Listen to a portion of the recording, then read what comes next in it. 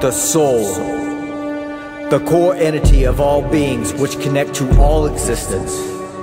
Each soul is important and necessary, and every soul is equal to all others in existence. But for too long now, souls have been imprisoned in the form of human flesh and bone, and locked behind the complex human mind. And now these souls cry for freedom from this wretched and pain-filled existence called life. And from these cries emerges a new sound and a new voice to lead these poor souls to freedom.